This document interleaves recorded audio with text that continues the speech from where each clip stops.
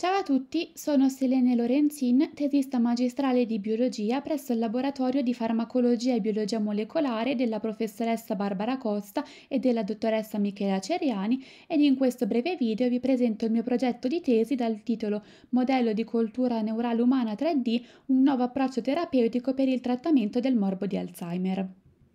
Il morbo di Alzheimer è la forma più comune di demenza. È una patologia neurodegenerativa caratterizzata dalla morte selettiva dei neuroni colinergici del sistema nervoso centrale, causata dalla presenza di placche a livello extracellulare composte dal peptide beta e dalla presenza all'interno del neurone di grovigli neurofibrillari costituiti dalla proteina tau iperfosforilata, la quale è coinvolta nella stabilità dei microtubuli che sono importanti per il trasporto ed il rilascio dei neurotrasmettitori.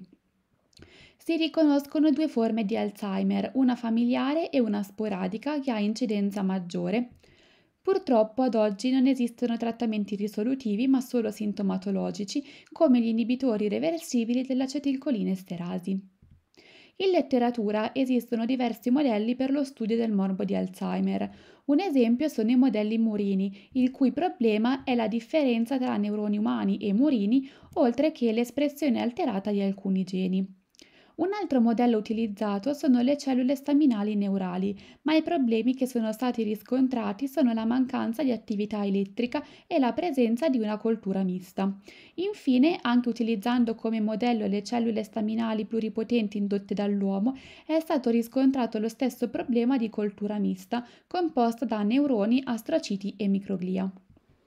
Per definizione, un neurone è una cellula elettricamente eccitabile che comunica con altre cellule tramite connessioni specializzate chiamate sinapsi.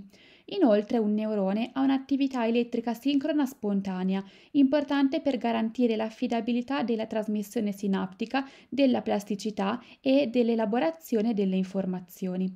Pertanto, lo scopo di questo studio è creare un nuovo ed efficace modello 3D di differenziamento neuronale che permetta di ottenere una rete funzionale e di valutarne sia l'attività elettrica spontanea che indotta.